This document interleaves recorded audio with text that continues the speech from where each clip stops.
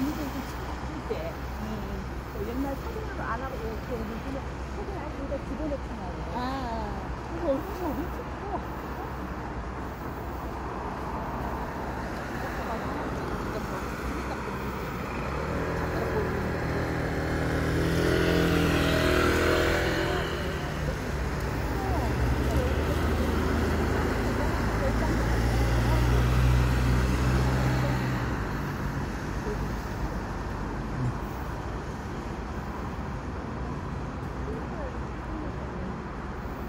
Ooh.